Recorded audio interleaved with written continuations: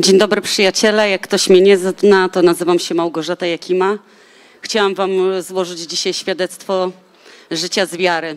Wiecie, jakiś czas temu, jak było nabożeństwo, Artur powiedział, żeby wyszły wszystkie osoby, e, które są zaspokojone. Jak wiemy, wyszło parę osób, można powiedzieć.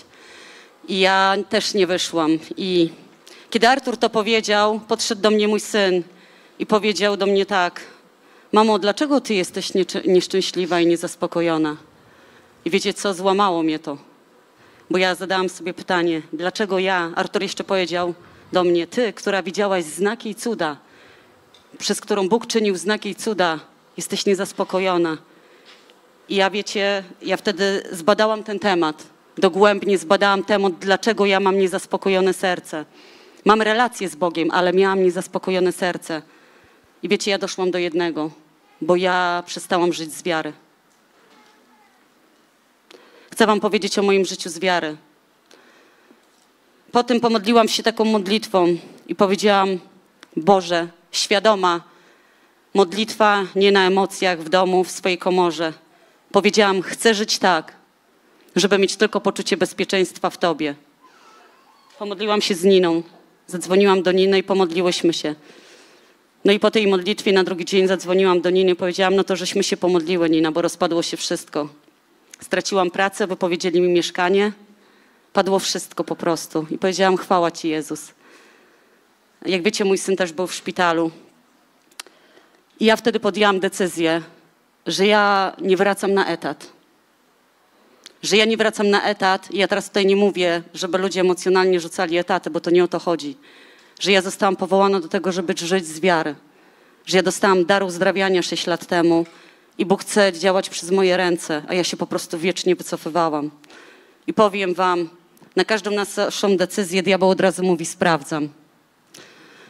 W niedzielę na konferencji napisałam świadectwo, ale niektórzy z Was może nie wiedzą. Mój syn podszedł do mnie z kolanem jak jabłko, ponieważ dwa miesiące temu zdiagnozowano u niego chorobę. Wylądowaliśmy w szpitalu. Po tej diagnozie kościołem się pomodliliśmy, choroba została przeklęta, odeszła, ale objawy zaczynają się od opuchnięć właśnie ciała i opuchło mu kolano. I ja poprosiłam tutaj jedną osobę, żeby się pomodliła. Stanęłam też w modlitwie tutaj z paroma osobami. I tego dnia miałam jechać na usługę do kobiety, która trzy lata chorowała i leży w łóżku i nie chodzi od sierpnia. I ja wiedziałam, że ja nie mogę się wycofać. Ja wiedziałam, że jak ja pojadę z Natanem do domu, to wylądujemy w szpitalu, bo klepnę diabła. I wyjdę z rzeczywistości Chrystusowej i wejdę pod prawo, z automatu. Ja to przyjęłam sercem, słuchajcie. Ja pojechałam do tej kobiety. Ja ją postawiłam na nogi razem z chłopakiem, którym tam byłam, który też jest osobą usługującą. I ona w swoich siłach wyszła z domu na ławkę, gdzie siedział ojciec jej dzieci, lekarz od spraw komórki rakowej i powiedział, teraz to mnie zaskoczyłaś. Ja powiedziałam, to jest Jezus. Ciąg dalszy tej historii był taki, że to nie był koniec mówienia przez diabła sprawdzam. W poniedziałek mój syn zaczął się źle czuć, ale został w domu, bo chcieliśmy wypocząć. We wtorek już czuł się bardzo źle. Chodził do toalety z samego rana, jak go budziłam do przedszkola. Ja miałam jechać, bo ja teraz po prostu pracuję tam, gdzie Bóg mnie prowadzi. Po prostu codziennie dostaję jakąś pracę od ludzi, różnych ludzi. I ja po prostu kazałam mu się ubrać. Pomimo tego, że chodził do toalety, on płakał, kiedy wychodziliśmy z domu. Bo co chwilę chciało mu się siku. Ja powiedziałam, Natan, to jest kłamstwo. Można pomyśleć, co ze mną jest za matka. Ale gdybym zgodziła się z tym kłamstwem, to bym przybiła piątkę diabłu. I zaprowadziłam dziecko do przedszkola. I powiedziałam, nie będziesz sikał w imieniu Jezusa. Nikt nie zadzwonił. Odebrałam dziecko o 15. Dziecko było całkowicie uzdrowione. Następnego dnia miałam jechać znowu do pracy. I tym razem Natan miał czopę na migdałach, czyli anginę tak zwaną. Wiecie, ja już się zaśmiałam. I powiedziałam, że to nie jest prawda. Powiedziałam, że idzie do przedszkola.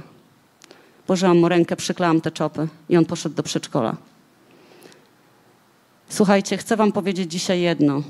Jeśli wycofujemy się w czymkolwiek z wiary, to automatycznie wchodzimy pod prawo i automatycznie przybijamy piątkę diabłu. Słuchajcie, naszym jedynym życiem jest życie z wiary. I nic ponadto. Wiecie, Bóg ostatnio do mnie powiedział taką rzecz.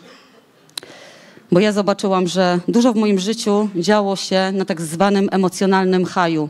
Wy wiecie, że ja w świecie byłam osobą uzależnioną i dobrze znam ten emocjonalny haj. Jestem nowym stworzeniem w Chrystusie, ale to mnie gdzieś dotykało też w królestwie, bo nie zrobiłam z tym porządku. I zawsze wtedy, kiedy były różnego rodzaju spotkania przebudzeniowe, konferencje, przyjeżdżała osoba usługująca, zawsze się najarałam. Zawsze byłam najarana. I wystrzelałam i za chwilę padałam. I wiecie, ja zrozumiałam jedno, że w ogóle Bogu chodzi o posłuszeństwo i o wierność. Bo wiecie, e, można się na chwilę pobudzić emocjonalnie, zrobić fajnych parę rzeczy, ale jeśli nie będziemy dbali o to namaszczenie, jeśli nie będziemy konsekwentnie po prostu dnia codziennego głosić Ewangelię i robić to, co Słowo mówi, że mamy robić, to daleko na tym nie zajedziemy, przyjaciele. Życie z wiary to nie jest emocja. Życie z wiary to jest posłuszeństwo Bogu i posłuszeństwo prawdzie. Wiecie, ja chcę oddać dzisiaj Bogu tym chwałę, ponieważ ja zrozumiałam jedno, że moje jedyne poczucie jest, bezpieczeństwa jest w Bogu. I powiem Wam tak, ja jestem dzisiaj zaspokojona. Pomimo tego, że nie pracuję, nie oczekuję tego, że mi spadnie gwiazdka z nieba, ale codziennie wstaję i mówię: Jezus, ja Ci wierzę. Ja Ci wierzę, że dzisiaj Ty błogosławisz pracę moich rąk. Ja Ci wierzę, że dzisiaj mam gdzie mieszkać, że dzisiaj mam co jeść i dzisiaj mam zapłacone rachunki. Codziennie wyznaję słowo. Najpierw szukam Królestwa Bożego, a reszta jest mi dodana. Także takie to moje świadectwo życia z wiary.